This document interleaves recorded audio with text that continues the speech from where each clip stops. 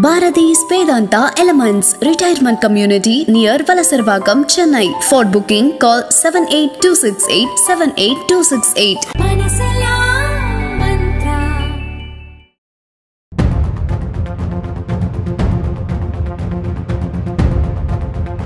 செயற்கை சுனாமியை ஏற்படுத்தும் புதிய அணு ஆயுதத்தை கடலுக்கு அடியில் பரிசோதனை செய்ததாக வடகொரியா தெரிவித்துள்ளது. இதுகுறித்து அந்த நாட்டின் அரசு ஊடகம் வெளியிட்டுள்ள அறிக்கையில் கடலுக்கு அடியில் செலுத்தப்பட்ட ஆயுதம் எண்பது முதல் நூற்றி ஐம்பது மீட்டர் ஆழத்தில் சுமார் அறுபது மணி நேரம் பயணம் செய்த பின் வெடித்து சிதறியது. இதன் மூலம் செயற்கை சுனாமியை ஏற்படுத்தினோம் வடகொரியாவின் தலைவர் கிம் ஜாங் உன்னின் மேற்பார்வையில் இந்த சோதனை நடந்தது என தெரிவிக்கப்பட்டுள்ளது. வடகொரியாவிற்கும் தென்கொரியாவிற்கும் இடையே தீரா பகை நிலவுகிறது. இதனையடுத்து தென்கொரியாவிற்கு அமெரிக்கா பெரும் பக்கபலமாக இருந்து வருகிறது. அந்த வகையில் அமெரிக்கா மற்றும் தென்கொரியா படைகள் கடந்த வாரம் கொரிய தீபகற்பத்தில் பிரம்மாண்ட கூட்டு போர் பயிற்சியில் ஈடுபட்டன. கிழக்கு சிரியாவின் ஹசாகா பகுதியில் அமெரிக்க ராணுவ தளம் அமைந்துள்ளது. இந்த ராணுவ தளம் மீது மார்ச் இருபத்தி மூன்றாம் தேதி ஈரான் ஆதரவு பயங்கரவாதிகள் ட்ரோன் தாக்குதல் நடத்தினர். அதற்கு அமெரிக்க ராணுவ தளம் வான்வழி தாக்குதல் மூலம் பதிலடி கொடுத்துள்ளது. மார்ச் இருபத்தி நான்காம் தேதி வெள்ளிக்கிழமை இந்த வான்வழி தாக்குதலில் ஏற்பட்ட சேத விவரங்கள் குறித்து உடனடி தகவல்கள் இல்லை. மிக பிரபலமான ஸ்டார்பக்ஸ் நிறுவனத்தின் தலைமை செயல் அதிகாரி லக்ஷ்மண் நரசிம்மன் தனது கடைகளில் ஒவ்வொரு மாதமும் அரை நாள் வேலை பார்க்க போவதாக அறிவித்துள்ளார். மார்ச் இருபதாம் தேதி ஸ்டார்பக்ஸின் தலைமை செயல் அதிகாரியாக பொறுப்பேற்ற அவர் முன்னதாக ரெக்கிட் பென்க்சர் செயல் அதிகாரியாக இருந்துள்ளார். ஸ்பெயின் நாட்டு பிரதமர் பெட்ரோ சான்சே சீனாவின் சொல்லை கேட்டால்தான் உக்ரைன் ரஷ்யா இடையேயான போரை நிறுத்த முடியும் என பகிர் கிளப்பியுள்ளார் பொதுவாக தனது அரசியல் சுயநலத்திற்காக ஓங்கும் சீனாவின் குரலை ஸ்பெயின் நாட்டு பிரதமர் கேட்க வேண்டும் என்று கூறுவது உலக மக்களிடையே பெரும் பரபரப்பை ஏற்படுத்தி உள்ளது மேலும் இந்த மாதம் இறுதியில் அவர் சீனா செல்ல உள்ளார் என்பது நினைவு கூறத்தக்கது.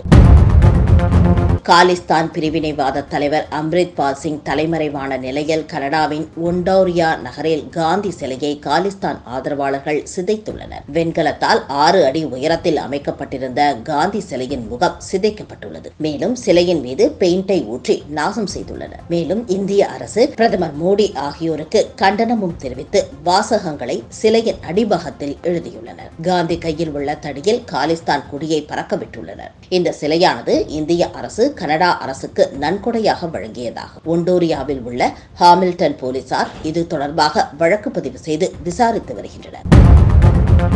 வெளியுறவுத்துறை அமைச்சகத்தின் செய்தி தொடர்பாளர் அரிந்தம் பக்ஷி இதர நாடுகள் இந்தியாவின் மீது காட்டும் காழ்ப்புணர்ச்சியை கண்டு இந்தியா வெறும் வாய் ஜவடாக்களை எதிர்பார்க்கவில்லை என்றும் தவறு செய்த அந்தந்த நாடுகள் பொறுப்பேற்று சரி செய்வதைத்தான் எதிர்பார்க்கிறது என திட்டவட்டமாக தெரிவித்தார்.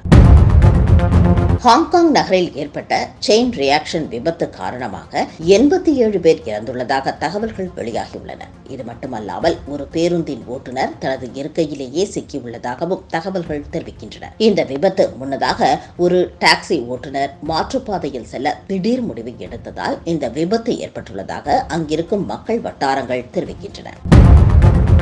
பிரான்சின் அதிபர் இமானுவேல் மேக்ரான் ஓய்வு பெறும் வயதை அறுபத்தி இரண்டு முதல் அறுபத்தி நான்கு என்ற அறிவிப்பை நாடாளுமன்றத்தில் வாக்கெடுக்காமல் அதிகாரப்பூர்வமாக அறிவித்ததை அடுத்து அவருக்கு எதிரான போராட்டங்கள் அதிகரித்தன. இந்த நிலையில் ஆட்சி பொறுப்பை ஏற்ற பிறகு முதல் முறையாக பிரான்ஸ் நாட்டிற்கு அரசுமுறை பயணம் மேற்கொள்ள இருந்த பிரிட்டன் நாட்டின் மன்னர் மூன்றாம் சார்லஸ் தனது அரசியல் பயணத்தை ஒத்திவைப்பதாகவும் ஓய்வூதிய திட்டம் மாற்றம் காரணமாக அந்த நாட்டில் நிலவி வரும் தொடர் போராட்டத்தை அடுத்து இந்த முடிவை மன்னர் மூன்றாம் சார்லஸ் எடுத்து உள்ளதாகவும் பிரான்ஸ் நாட்டின் அதிபர் அலுவலகம் தெரிவித்தது.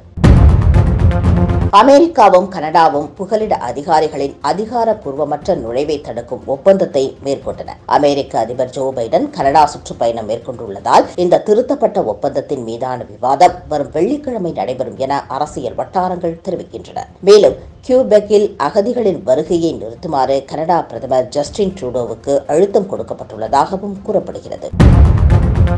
மனித உரிமை பிரச்சாரக்காரர்கள் மற்றும் பெண்கள் உரிமை ஆர்வலர்கள் மீது மெத்தனமாகவும் முறையற்ற வகையில் நடந்து கொண்டதற்காக சவுதி அரேபியாவில் பத்து நீதிபதிகள் மரண தண்டனையை எதிர்கொள்கின்றனர் என்ற தகவல் வெளியாகியுள்ளது. அந்த வகையில் அரசு பாதுகாப்பு தொடர்பான பணிகளில் தாங்கள் மெத்தனமாக நடந்து கொண்டதாக வாக்குமூலத்தில் கையெழுத்திட்ட நீதிபதிகள் மீது தேச துரோக வழக்கு பதிவு செய்யப்பட்டுள்ளதாக கூறப்படுகிறது. குற்றம் சாட்டப்பட்டவர்களில் ஆறு நீதிபதிகள் பயங்கரவாத வழக்குகளை விசாரிக்கும் நீதிமன்றத்தில் பயிற்சி மேற்கொள்பவர்கள் என்பது நினைவு கூறத்தக்கது.